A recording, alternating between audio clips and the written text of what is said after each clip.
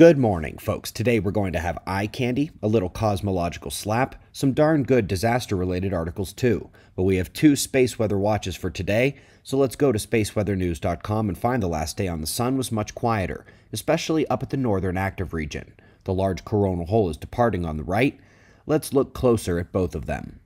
Starting with the sunspots, which are stable and not really morphing or growing, FYI, during the peak of sunspot maximum, all those little light scratches behind the sunspot will carry sunspots as well. While we watch for it to flare today, I want to show the official space weather forecast for geomagnetic conditions that came out yesterday. Yesterday, they had expected the coronal hole stream to arrive at night and produce a minor geomagnetic storm. The coronal hole stream is late, hasn't arrived yet, must be weaker than expected, and so when it arrives today, it better not produce a stronger geomagnetic storm than was forecast for the stronger impact yesterday. Quick jump to seismicity where pressure was released on the Pacific Ridge, always lucky when the large ones hit well out to sea, but here they can often trigger the coastline faults to the east a day or two later. On to the science articles where we'll start with Tesla. Here we not only get a proper respect of his electrical work, but the focus is actually on the fluid dynamics work here. It is much less known, but just as amazing. Read about the Tesla valve at the link below.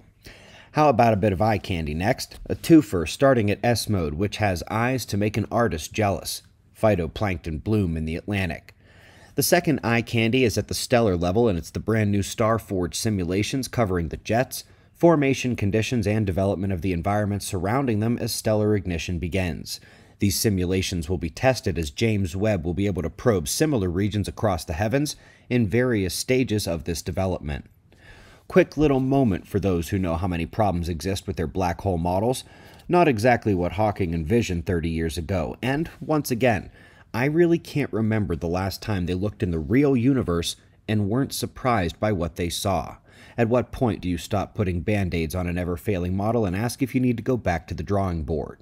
Anyway, one more thing of interest before we hit the top stories. Cool little piece here on a whale discovered hundreds of miles from the sea in Vermont, dating back to the last disaster. Observers will need to read between the lines on that mainstream article. A triple up next, all tying back to the special video from a week ago on the galactic current sheet and stellar triggering. Let's begin with another look at the galactic plane, not stars, but patterns of excess emission from the warm ionized medium, the plasma. Let me just go ahead and toss the lines on there in case the uniform shapes, even if not the density distribution of the interstellar plasma, isn't exactly random here. Every time they look, they spot an essence of the sheet. The mainstream is starting to hit on those isotope papers we shared a few days ago. This would be from the perspective that doesn't factor in the damage of such a proximate supernova, or the fact that dust is trapped in the remnant and not blasted across space. They offered options because the real answer, the solar micronova, is not exactly a tool they have in their toolbox. And last but not least, a debunking of an exoplanet is about a thousand times more than just the debunking of an exoplanet. At Barnard's Star, it means they were sunspots, stellar activity tricking the scientists, and the once non flaring star is now confirmed to still be activated. We've gone over how the flare star Proxima activated with a super flare and has continued to break flare records since then. We cover those stories when they come out. But before that happened, Barnard was thought to be inactive until it roared to life, and apparently has kept going and tricked the scientists into thinking it had a planet.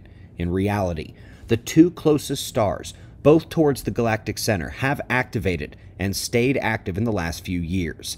In addition to suggesting that the Sun is next, recall that AD Leo, the tiny weak star in line with the Sun from the center of the galaxy but well to the north, it has also activated.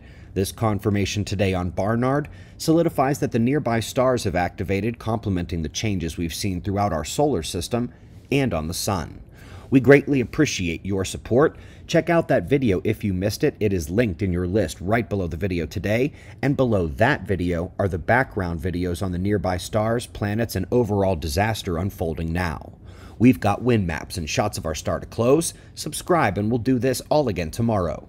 Right here, but right now it's 5:45 a.m. in the new Valley of the Sun. Eyes open. No fear. Be safe, everyone.